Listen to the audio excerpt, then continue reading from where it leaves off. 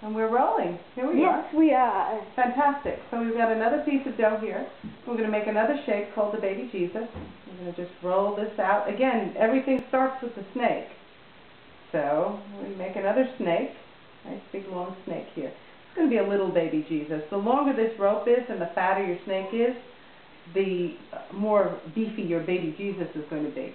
So we take the dowel, we take one end of the snake and start it at the top end of the dowel, and we're going to roll it around the dowel. In this case, we have a chopstick.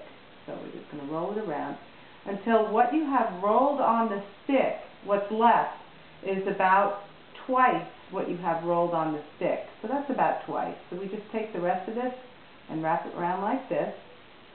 So it's around like that. So it looks like this. Now when you pull this off, you're going to pretty much put pressure on the top end where, where my little finger is and just hold the rest of it so it doesn't lose its shape. So you're going to put the pressure on your pinky and pull the dowel out.